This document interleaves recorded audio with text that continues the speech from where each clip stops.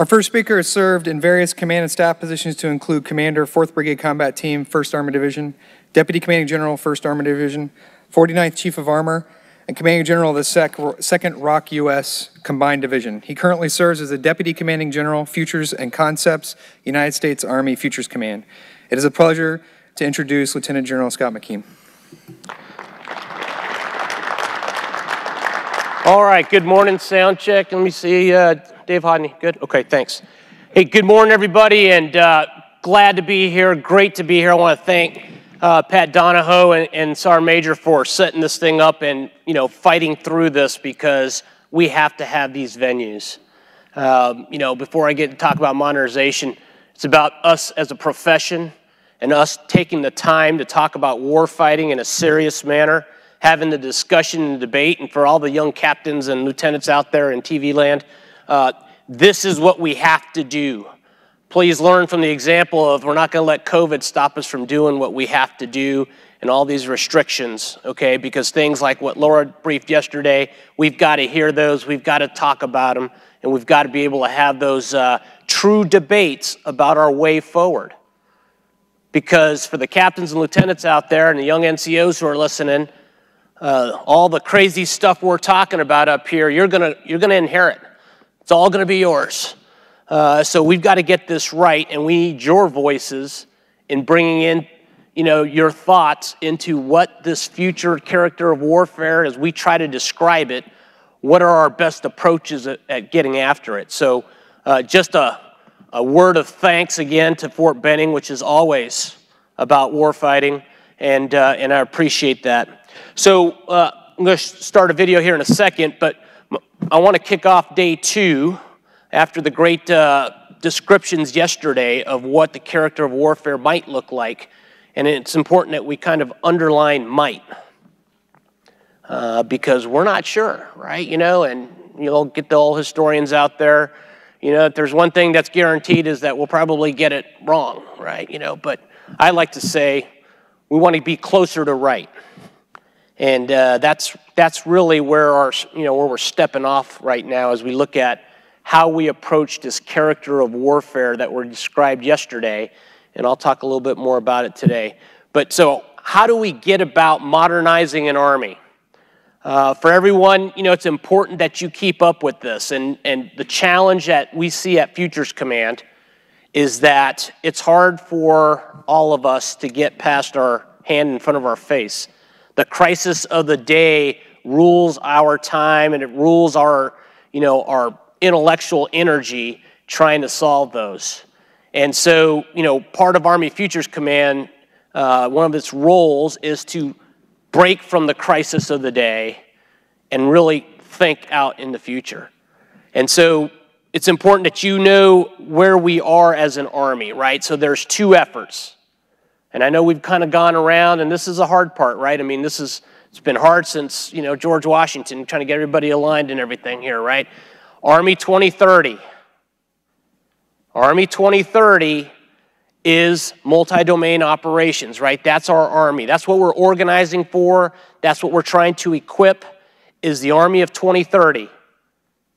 And as General Funk described yesterday, the MDO doctrine that we uh, are hoping to release here in June is going to describe that. And everyone's going to say, yeah, but I don't understand it, and all those kinds of things. Look, here's how an army works, right? We publish doctrine. The army goes out and trains on that doctrine, and we find out, you know what? There were some shortfalls. There were some things that we need to adjust. Hey, this actually worked really well. And then we publish an updated version of that doctrine. You know, air land battle, which we all covet and everything, you know, it wasn't the 1982 version. You know, as General Swan probably can, uh, I'm not trying to age you here, sir, but you know, as, as General Swan practiced, you know, during his career, it wasn't the 82 air land battle version that really promulgated across the force. There was a lot of skepticism about it. It was more accepted because active deterrence wasn't really uh, a very good thing in the sense of a lot of people's minds. But the 1986 version, after four years of learning on airland battle and working through that piece, is where we evolved to the, you know, to the coveted 1986 version of airland battle. which has lasted pretty much, you know, even though we've tried some different things, the basis of air-land battle has really stuck with our Army since then.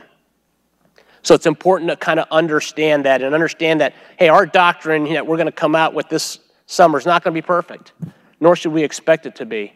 But we got to get it into your hands. And the division commanders here, I'm proud that you guys are out here uh, making a trip out here because it's important. Because our division commanders are the ones who are going to put that in play at their warfighters, their National Training Center, or other CTC rotations. And they're going to give us the feedback of, hey, this isn't just quite right. And that's how we're going to grow. So, what I'm explaining to you, though, is if we're going to get better and if we're going to make this stuff work for us, we have to be able to experiment, right? And, and experimentation is our pathway to modernization. And so let me show you one way that we're getting after it. It's called Project Convergence. Can you guys roll the tape, please?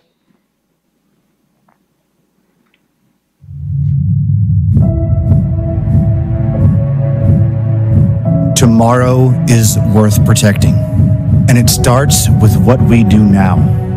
Our potential adversaries around the world grow in strength and power, seeking to undermine our nation at every turn.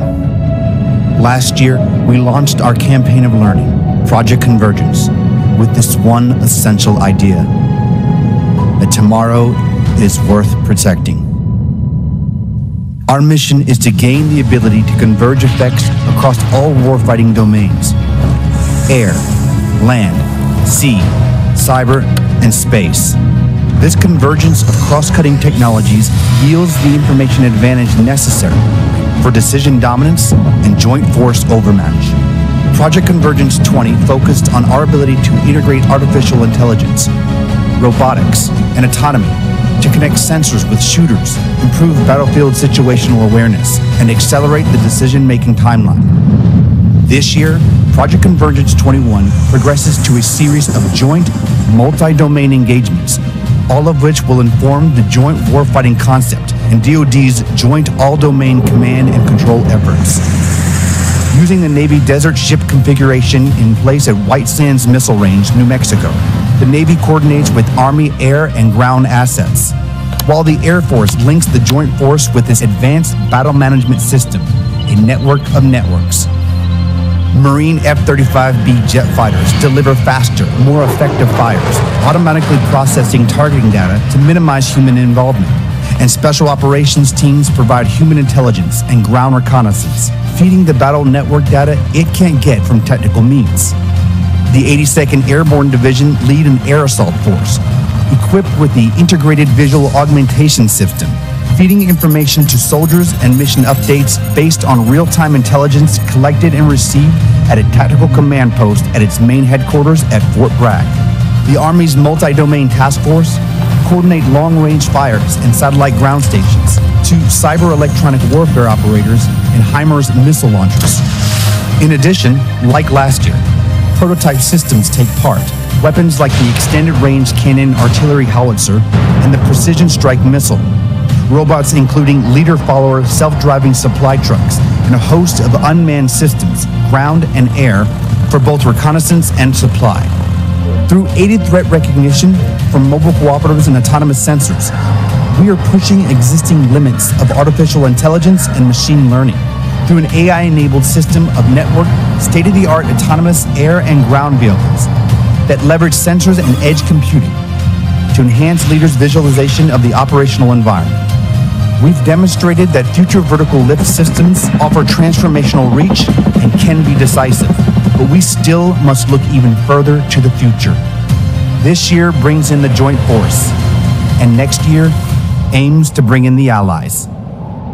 We continue to advance forward, identify areas of improvement, and adapt, because tomorrow is worth protecting. We have accomplished much. Speed, range, and convergence gives us decision dominance, and decision dominance gives us the overmatch we need. But we still have more work to do, because whoever can see, understand, and act first will win.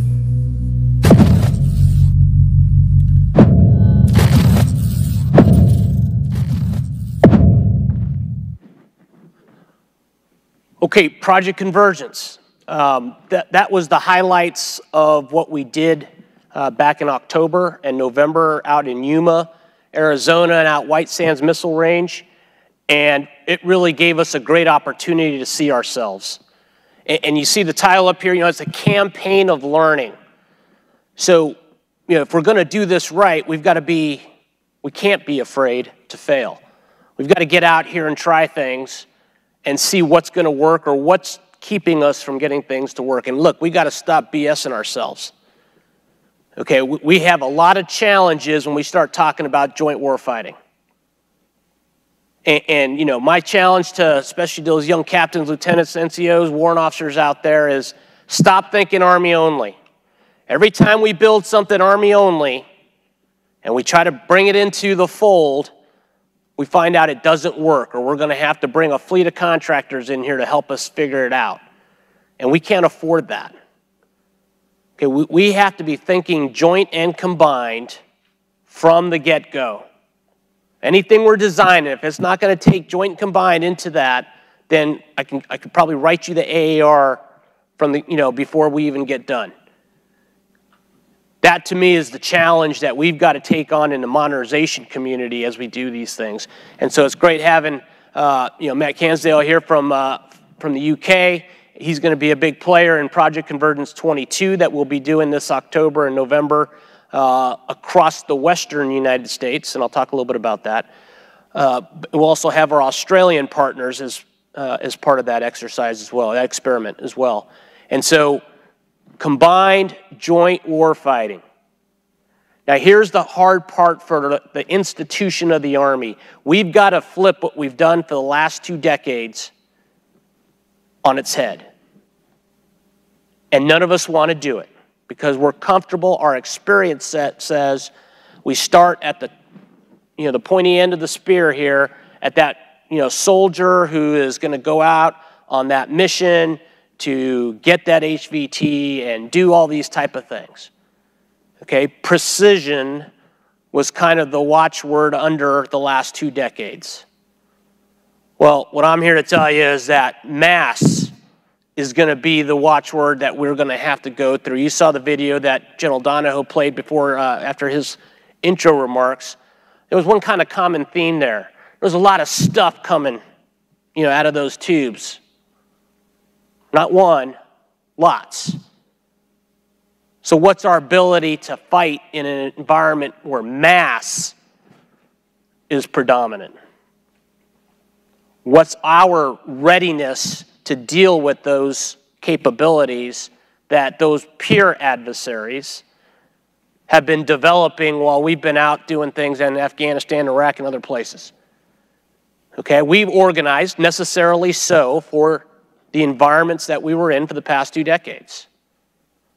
We've got to change, and we've got to change fast.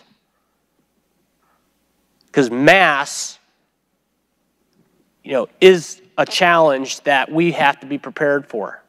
I mean, we're seeing it right now in Ukraine, right? You know, 130,000 or whatever the number is. You know, lots of troops surrounding there with lots of capability. So, how do we get after that? Next slide. I got the next slide here. Okay, so campaign of learning. As I said before, experimentation is going to set that pathway. And the good thing that we have right now is that our senior Army commanders understand the necessity of this, even with all of their readiness requirements that they have. And as you see General Flynn's here, uh, General Flynn's quote here, every exercise will have experimentation as part of it. He recognizes that we, have got to be modernizing even while we're doing our readiness. And so we have to look for those opportunities to bring experimentation in. And when I talk experimentation, I'm not talking a bunch of folks in lab coats with, you know, stopwatches saying how long did it take you to get from point A to point B. This is experimenting with all the different capabilities that are CFTs, and you'll hear later, you know, Don Sando, and you'll hear uh, Larry Burris, you'll hear Ross Coffman talk about some of the capabilities that we're developing uh, for, for the force. But we've got to bring it together and does it integrate? How do we fight with it? Okay, and, and let's be clear. we organize to fight. We don't organize to do other stuff. We organize to fight. All those other you know, missions we get are secondary to our primary role. And as Pat Donahoe, I know, you know, emphasizes, in the end, doesn't matter what stuff we have, there's going to become a point in time when we're facing eyeball to eyeball with that enemy. We got to be ready for that piece. Okay, so experimentation, project convergence, which you just saw a little video, and I'll talk a little bit more about how we're moving forward on project convergence. Um, that is kind of the Army's cornerstone, campstone event for our campaign of learning.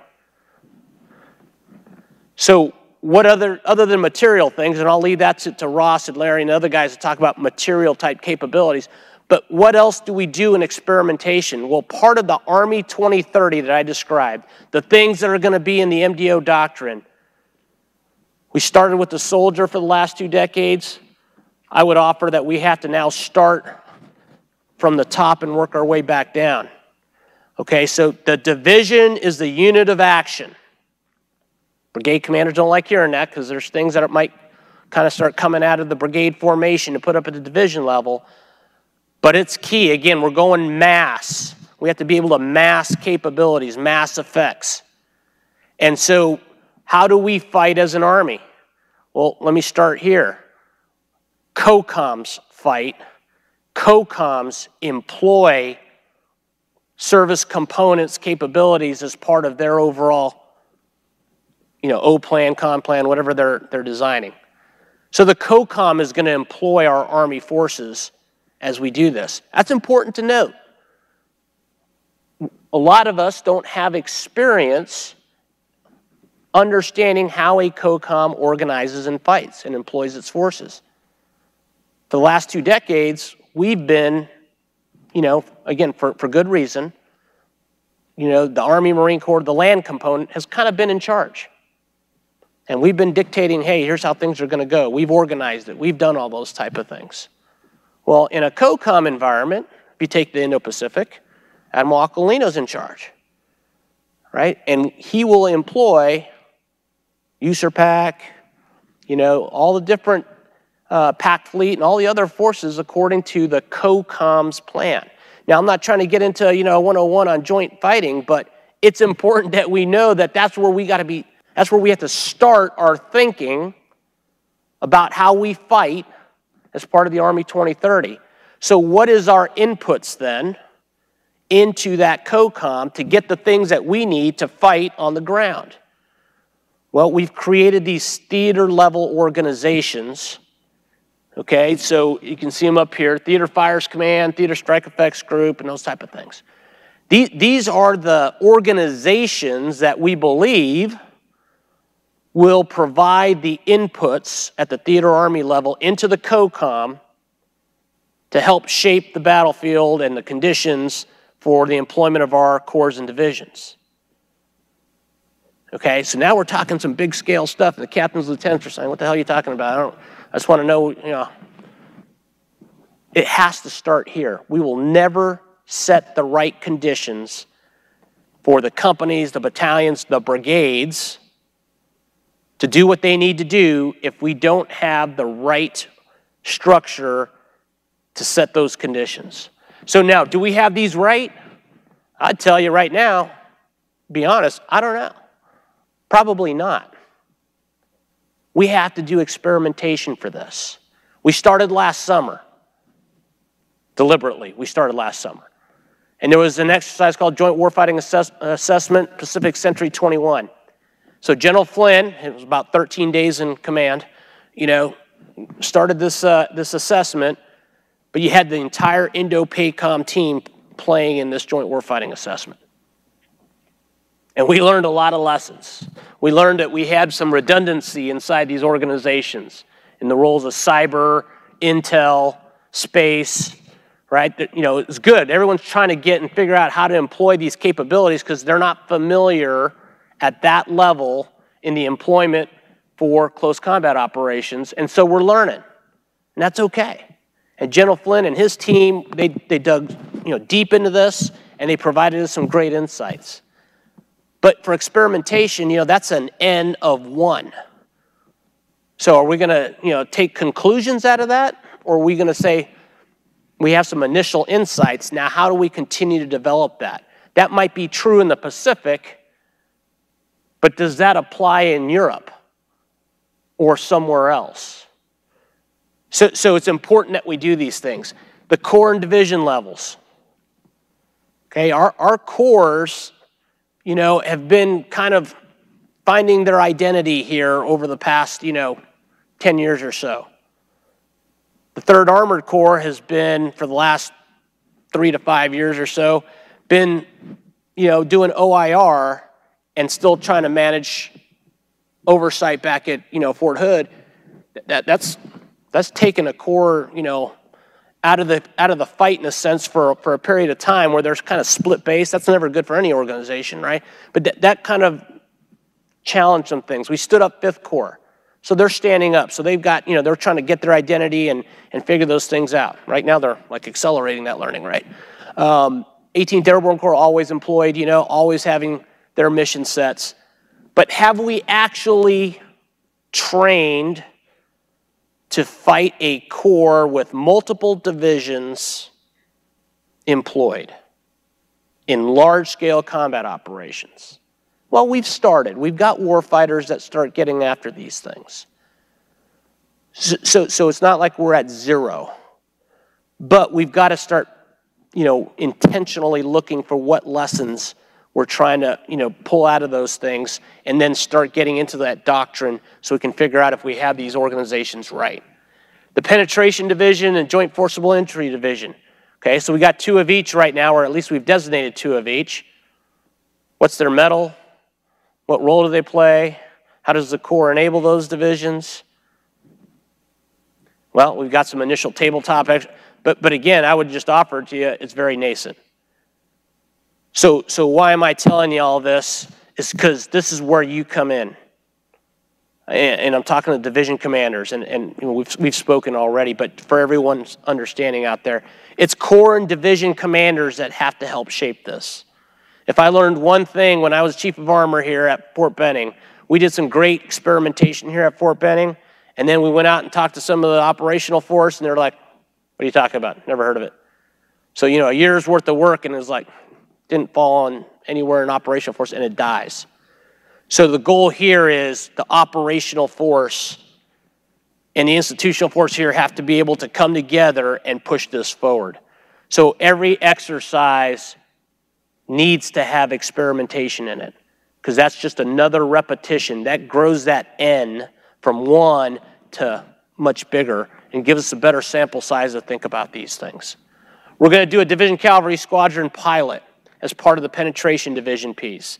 And, you know, Major General Johnny Richardson, he signed up for that thing, and he's going to lead that effort. Okay, so we have a, a division commander leading that effort for our Army. That's how we're going to have progress. Okay, it's not going to be some type of idealistic type thing that we do on PowerPoint. He's going to do it in the field, at the National Training Center, and, and give our best resources to figure that out. Okay? What are the capabilities we're talking about? So we saw John Antal gave a great presentation yesterday, right? Should have scared the hell out of you. You know, here's kind of the stuff that's going on out there. So we know counter UAS and, and in a broader scheme, protection is going to be a key aspect of anything that we do in the future. Again, back to the video. Lots of missiles coming. You know, where are those missiles going? Radars, command posts. What did he say? He said like uh, air defense artillery, radars, field artillery units, command and control nodes, right? Those nice tented uh, command posts that we all have, right? You know, because we've got to have everybody inside the tent, got to have a place to have your coffee pot, all that kind of good stuff, right? So these are the type of capabilities that we believe will continue or will be critical in how we fight in the future, right? So the, the network, we, we know that's a mess. Okay, and, and our ability to, you know, I mean, there, there's no sugarcoating this thing, right? No lipstick on the pig on this bad boy. I mean, the network is a problem. It's a challenge. And we've got some things that are working to try to get a little bit better, but I just tell you, in, in the sense of prioritization of problems, that, that's probably the, the top one. And we're working on that pretty hard with different means of getting after it, okay? And I'll talk about data here in a little bit. Integrated air missile defense. Look, this is something we haven't had to deal with, right? I mean, you know, beginning of Desert Storm, okay, watch it, you know, get one or two Scuds coming at you or whatever. You know, you got Patriots kind of strategically positioned to be able to deal with that thing. And, but we really, in our lifetimes, have not, our military lifetimes, for everybody that's probably listening, we haven't been under the threat of continual missile barrage. I'm talking like medium range ballistic missiles and those type of things. We, we haven't been under that threat for a long time. More importantly, since we're talking multi domain operations in a sense, we haven't been threatened in most domains in our careers space, air, maritime, cyber, you can kind of say, I don't know if I was or not, you know. Land, for sure not, right? We've dominated in those domains for our entire careers. Well, that's not the case today. And it's not going to be the case in the future. Now, we can dominate those domains, but it's going to have to be deliberate, and you're going to have to apply resources to gain that dominance, and it's only going to be for a period of time. So, you know, temporal dominance, basically, you know, of, of a domain in order to, you know, secure a position of relative advantage, whatever you want to call it, whatever your mission is, but you're going to have to be deliberate about how you do that. Air Force isn't going to be over top of you troops in contact, get the Apaches in here. No, that, that's, not, that's not a guarantee. You're going to have to set conditions for that. And for the young captains, lieutenants out there, you know, this is something that you're going to have to learn. You are not the main effort. The main effort is going to be a division. That division might make a brigade a main effort, and they may get a lot of artillery and all those type of things from the other divisions. But you're going to have to set conditions to get dominance of a domain in order to use it. That includes space. I'll leave it unclassified here, but you know, we're going to have to set conditions in space. Cyber is going to have to be deliberate to make sure that we either protect or degrade from our adversaries or to our adversaries. So, so these are some important pieces. I'll underline sustainment. We don't like to talk about sustainment. Here, here's how we do experiments, you know, and I'll call them warfighters or experiments in my mind, right? Here's, here's the most common argument. I've made it myself, so we're all guilty here, okay? Well, I know that, you know, we really wouldn't have this right now, but I got to get to my training objectives. I want to see how that battalion commander is going to fight when he makes contact. So, you know, we'll, we'll, we'll, bring the magic school bus of Patriot missiles in, or, you know, the magic resupply of gas to, to. Folks, what learning objectives are you really giving our formations if sustainment, and I'd add protection, Sustainment isn't part of our learning objectives. We're not doing it. We have to force it. If you can't resupply, I'm just using Patriots just to kind of keep it general here, right? You know, if you can't resupply the Patriots, then guess what? You're unprotected. You're vulnerable. Now, what are you going to do, Captain? You know, Colonel, General? What are you going to do? it doesn't mean that you're not going to be vulnerable during a fight. You've got to understand that. Those are the conditions. You're going to run out of fuel because your fuel dump, you know, your, your, uh, your, your class three point or whatever, got struck by missiles. And it no longer has the ability to provide. We don't have the assets to push class three or class five forward. Okay, what are you going to do? There's this thing called like controlled supply rate, right? CSRs, those type of things. We haven't had to do those things over the last 20 years. So what I'm describing to you as one of our great uh, former chiefs of armor and former maneuver extraordinaire General Starry used to say, hey, sometimes we've got to get a kick in the grill doors. Wake up.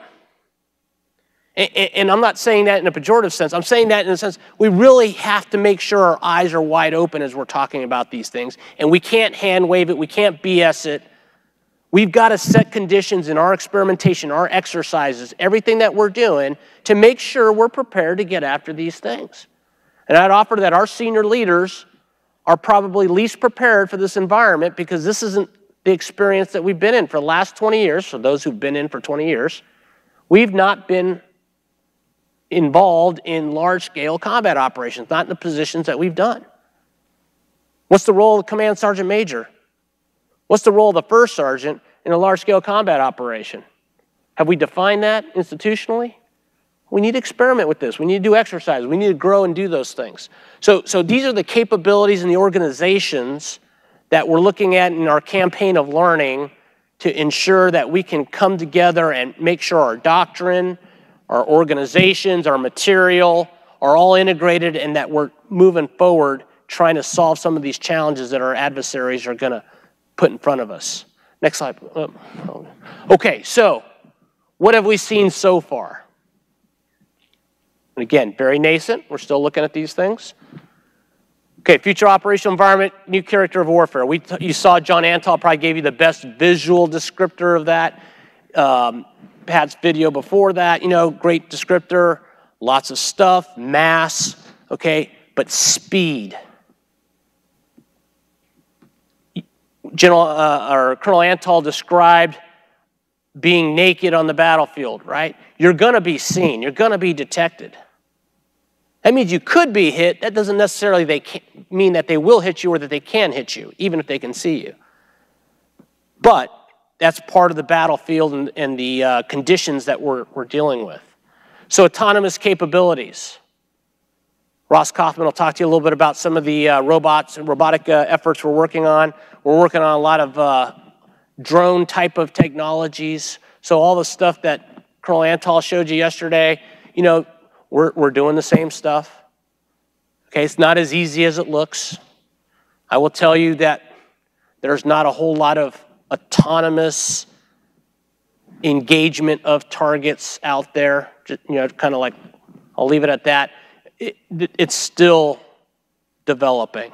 Okay, so it's not as we're going to launch, you know, a, a, a, swarm of drones out there and be able to just start killing stuff. It's not that easy. There's there's a human who's still doing a lot of that. Okay, target recognition isn't as easy as uh, some would think. But my point is, is that we do believe autonomous capabilities, autonomous operations, will be part of the character of warfare as we move forward. And so, you know, I know here at Fort Benning we're doing a lot of work with this, but as I, you know, I told my team, hey, first contact should be made by, you know, unmanned systems. Why would you lead with your face? Right? So, as a first principle of future warfare, making first contact with unmanned systems is probably one of those first principles that we, you know, that we're looking at, right? So we're doing those things. So we talked about you're going to be seen, naked operation, you know, all these kind of. Okay, that means that you heard it a lot yesterday. We got to fight distributed. General Funk said that. Everybody said that. Fight distributed. Okay, I agree. I mean, yeah, if you mass, they're going to put a lot of stuff on you and all those type of things. But can we fight distributed? I would offer today we probably couldn't, not for an extended period of time, not in large scale combat operations. Why? Sustainment, sustainment, sustainment. Look, our Army has been predicated on the you know, the formula of P for plenty. Right? You know, we need those six months so we can get great folks like, you know, like General Perna did, uh, Jill Daly, all these folks, right? They need to set conditions and build that, those stocks up so that we can operate. Why? Because our tank sucks down a lot of gas. We're always going to need to eat. We always need water. We always need, you know, class 3P all these type of different things that are out there If you're going to fight distributed, that means someone has to take those commodities to those organizations. We need mechanics. We have enough? You need medics. You have enough? If you're going to if you're going to fight distributed, actually distributed, can we sustain those forces, today's forces, right? So as we develop in this new character board, if we want to fight that way, then we've got to look at capabilities that are going to allow us to actually fight distributed. So there's a lot of things that we're doing. Mark Simerly here from uh, Simerly from CASCOM is here. Okay, I mean we are working hard on this, but this is probably one of the longest poles in a ten of long poles. And and sustainment is something that we kind of like. Yeah, they'll figure it out. They just got to make sure they get it to us. Yeah, that, that's not going to work here. So I offer to all of us, we've really got to look at sustainment. Deception is going to be cool. And, and so, so just remember deception here. The next one, AI aided decision making. Now, look, everyone wants to talk about artificial intelligence, right? And hey, there's a box of artificial intelligence over here. Let me go sprinkle it on and we'll be able to make decisions faster and all this kind of good stuff, okay? You know, artificial intelligence, machine learning, you know, this is all kind of tied together. In the end, what these capabilities are going to enable is helping the commander with ability for them to make decisions faster. Okay, that's kind of the goal here. But I still say that the commander will be responsible for all that happens on that battlefield, whether autonomous or not. So AI aided decision making, and you heard you know you hear the chief say a lot: speed, range, convergence, to help us to get decision dominance, so we can have overmatch when we need it. Right? Okay. But but but to do that, we have to understand what decisions do we need to make at echelon. What decisions does a brigade commander need to make? What decisions does a division commander make? And I'd offer what decisions does a corps commander need to make? We've got to have those discussions. Why? Because right now, if you go into any TOC, generalizing, but if you go into any TOC right now, you're going to have Kill TV up there. You're going to have a thousand. You saw the picture that uh, Colonel Antal showed. You know all the Dell you know, video screens up there and all that kind of good stuff. What's going in there? What's all that information that's going in there? How much of that is actually used? Right? So, in other words, if we were to try to train an algorithm to help a commander make decisions, what would we tell it? What would we input into that algorithm? That's the thought that we need from all the folks out here during experimentation because those algorithms aren't magical. They don't just, you know, come up. DARPA doesn't sit there and come up with some magical algorithm that we throw out there and then all of a sudden it just kind of starts doing things. We've got to figure out what does a corps commander need, what does a division commander need to make decisions.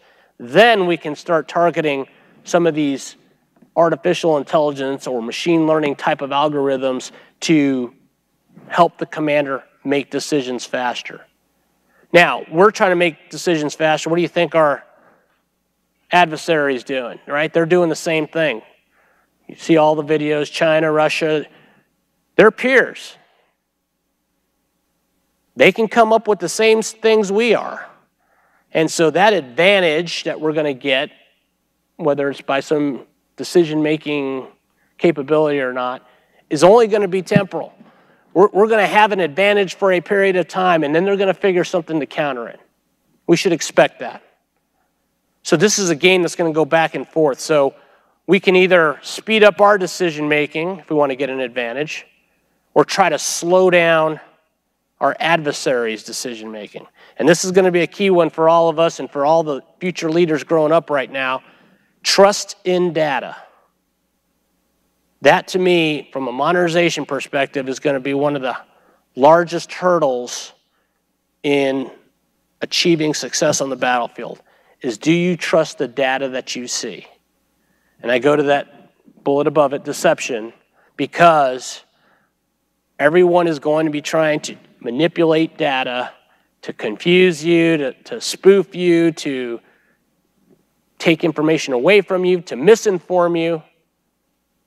And now, how do we figure out ways of confirming the data to make those decisions. You know, lieutenant makes a call. I've got a motorized rifle regiment coming at me. You know, I need a, I need artillery. You know, young lieutenant clearing fires. Well, commander, they kind of start looking and do I trust that lieutenant? What's the training level, experience level?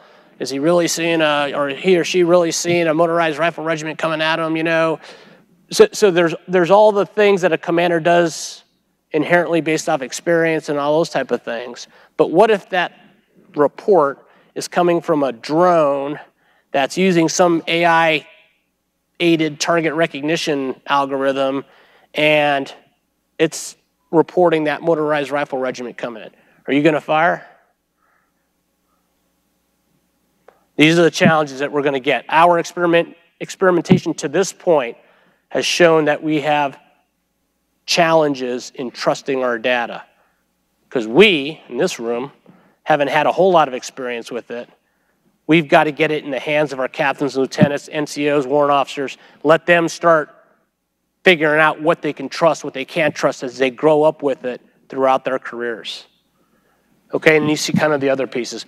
But in that cloud down there, and this is these are my words, right? Data is a new ammunition, not the new ammunition, right? So I just want to kind of clear, you know, from my perspective, it's a new ammunition because you know we've had data out there, but employing that data, getting the ability to answer a corps, division, brigade commanders, you know, requirements for the decisions they have to make is going to require that data. Now, that data has to get to them.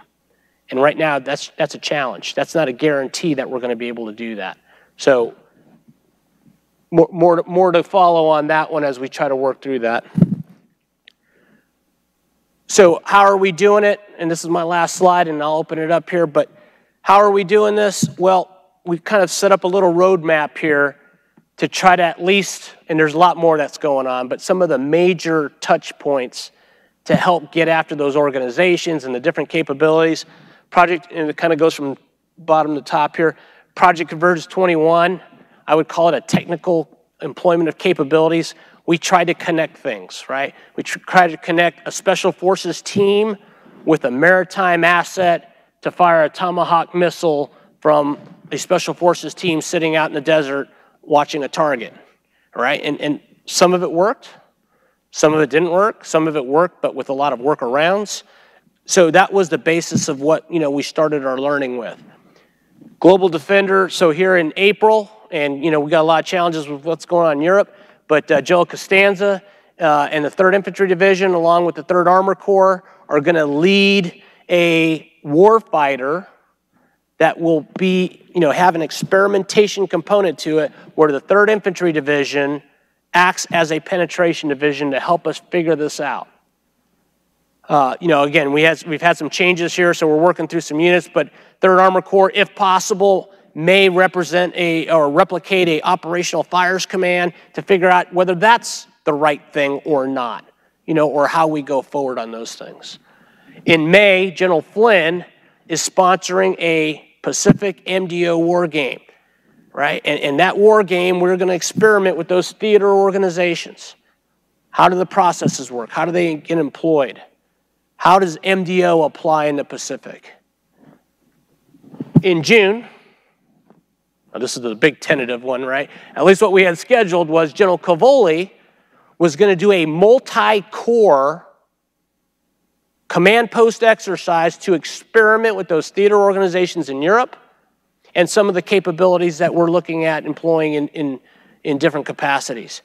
So, so two theater, our two theater armies, you know, with four-star commanders in them, are both in the experimentation business trying to help us solve these things. Unified Quest this summer, when we bring all the senior leaders together with the Chief of Staff of the Army and the Secretary, we're going to discuss our observations, our insights from these experiments. This is where corps commanders, division commanders, COE commanding generals are going to have their inputs into where we are, what we need to do. Does the MDTF, does, should that be underneath the theater fires commander? Should be independent you know, organization? I don't know. Let's experiment. Let's look at that. What were the insights? What were the results? That's how we're going to try to get after that piece. And then there's a globally integrated war game. I started off talking about COCOMs. Well, all the work that we've done, now our representatives will go into the Joint Staff Globally Integrated War Game and represent the Army with those capabilities as part of the joint warfighting concept. Okay, so that's how it all kind of comes together. Our campaign of learning leads towards input into the Joint Staff's wargaming so that the Secretary of Defense, the chairman, get good input into how the land component will fight as part of the joint and combined team. That's our pathway. That's what we're doing. That's an update on modernization. That's not complete, but that's kind of Experimentation is how that's helping us get after that. We're doing it with our partners and allies. We're doing it with the joint force, and we're trying to make sure that we're coherent and bringing the operational force to make sure those insights are somewhat validated by our operational force. So with that, we got about seven minutes, so. Yes, sir. I'll ask the first question, sir. So do you have a vision of how we're going to fight this at the small unit level? Like, is this going back to like the 1950s with the Pentomic Division, where you enter the battle zone and you spread out, you don't talk to each other for a couple of days? Like, do you have a like a mental model for small unit, how we, how we get to this, sir? So, so to be honest, I mean, we're starting up at the corps and division level, right? We've got to get that right. And so the conditions that we, as we experiment, the conditions we believe that the Corps and Division can set for our brigade combat teams is what that fight will look like. Today and probably till 2030, I think it's going to look pretty similar to what it look, would look like today.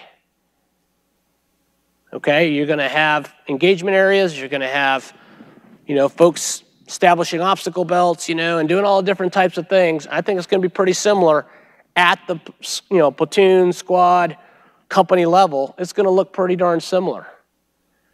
What's going to be different is you're going to have a whole lot more things coming at you, and you may or may not have the tools to counter them. So now, how does your maneuver, how does your employment of your forces change in order to survive on that battlefield and win? That's, that's kind of how I'm seeing that piece. But we've got to figure out what can we do at the division corps level first? How are we setting those conditions? How are we ensuring that protection, sustainment, intelligence, and all those type of things are established in order to enable the maneuver of those forces. And what's key is remember, you know, brigades have been kind of independent actors here for the last 20 years. You know, you got brigade commanders coming up with their corps. Brigades in, in this environment is an execution arm. They're executing the orders of that division. The division is employing their brigade combat teams for the purpose of the division, as opposed to a brigade employing its forces for the purpose of that brigade. And, it, and it's, a, it's a leap that a lot of us are familiar with, but we just haven't had a lot of practical experience with recently. Any questions from in the room? All right, sir, from our virtual participants, we've had several questions on logistics on the sustainment portion. Uh, the general gist is, for instance, GCSS Army is not hardened and the homeland is not secure. There are initiatives to harden our, our NIPR networks to, to provide. Another question related to sustainment doesn't have its own cross-functional team. Like, how are we getting after hardening our sustainment, sir? Boy, this is like a, a, a weekly conversation I have with Mark Simerly here, right? Okay, so we are working on a, sustain, a sustainment tactical um, system in, in order to at least get a transport. In other words, the ability to pass data, um, sustainment data, on a secure net. Doesn't have to be SIPR, okay? It just needs to be secure. So we're working that right now. Here's the challenge. Okay, so what's the mission command system that's receiving that? You know, the last one that I know of was BCS 3. Okay, and that went away years ago. So what's our mission command system that sustainment is tracked on. People say, well, it's Geeks A. Well, Geeks A only does a certain portion of sustainment, but it's not what, you know, the, the totality of what sustainment does. So, you know, that's something that Mark and his team, Steve Dondero at the CDID, are working on right now. But, but we have a gap there. So if I was to tell you what's the mission command system today for, you know, for sustainment, I'd say it's Excel. Right? You know, some spreadsheet that some great logistician has figured out and, and set up for that unit. But Charlie Costanza's picture of what he has in 3rd Infantry Division is probably a little different than uh, uh, you know, from 10th Mountain and all that stuff. So how does a corps, how does the great 3rd Armor Corps bring all that together? I don't know. Are they reconciling uh, Excel spreadsheets? Are they, these are the things that we've got to fix. Mark Simerly at CASCOM is looking at them. He's looking at a way to try to get after these things. You know, starts with connectivity. Can we even talk to each other in a secure manner and pass data? Now it's how do we manage that information, which is going to be a big challenge. Thank you, sir. Got another question from our virtual participants on balancing the risk. We talked a lot about building out uh, corps and division headquarters with additional capabilities. How do we balance the risk of hollowing out infantry armor and reconnaissance battalions to build all this new force structure and capacity, sir? Well, it's a great question. Um, you know, just because we're re-looking divisions and corps doesn't mean that they need to grow, doesn't mean that they need to, they need to reorganize, they need to restructure. I don't know if that's going to equate with growth. Obviously, you know, everyone, that's their first default is, well, let's put another section there. All I'm saying is let's just take the G2. Does the G2 need to have X amount of people in it? You know, what are the functions that it plays? And what does it need? From a technology perspective, hey, what can technology help us do right now? If you take something like PED, right, you know, and you got some young private out there, I used to watch this in Korea all the time, I know Steve Gilland did too, right? You know, young private out there looking at all this imagery and all these type of things, trying to figure out what it is when we know that there are, there are ways of doing that by algorithms to at least take care of a, a lot of the mass that comes in and get a lot less things falling on the floor. But we have to be cognizant of our combat formations that they still have the capabilities to do what they need to do. In the end, and I'll hit that point again, in the end, we're going to be staring, you know, eyeball to eyeball with somebody, and someone's got to put the bayonet in the belly of that enemy, right? you know, someone's going to stand on that ground and, and own it. And, and so it, it's a great caution that as we do these things, we can never forget that those combat formations still have to have their capabilities. Thanks, sir. And our final question, uh, discussing division as the new uh, unit of action, what are your thoughts on moving to a division-centric CTC rotation rather than brigade-centric, like taking an entire division or part of it to NTC or JRTC, sir? We had a great discussion on that yesterday, and I think our, our CTCs do need to transform. Uh, they got to keep up with what we're doing here. Uh, we need to in, encumber, I think is the term, encumber our divisions as part of these rotations. Uh, you know, a lot of times we say, okay, well, we're going to send attack and leave it at NTC for, you know, 90 days in order to get a bunch of brigade. I don't why do we have to do that? Why can't you, I mean, I don't know why you can't do it from home station. That's called distributed operations, right? Why can't you command and control from, you know, Fort Riley into the box? Oh, well, we're on a different network. Well, why are we on a different network? I, I mean, we've got to think through this. I don't have the answer to how to do all those things, but yes, I do believe divisions need to be part of these CTCs because they should be employing and doing the condition setting for those brigades. And then the brigades are executing that order. And, and again, it's close fight. You know, they might have a, they, the brigade's deep fight might be, you know, something with artillery or whatever, but it's something that it should be shaped and, and directed from the division because it's even part of a corps operation. The corps are employing two to five divisions, all those type of things, right? And those divisions are setting conditions. So is it the main effort brigade for that division, or is it a supporting effort? Well, if it's a supporting effort, it may not have any artillery with it. Right? No artillery.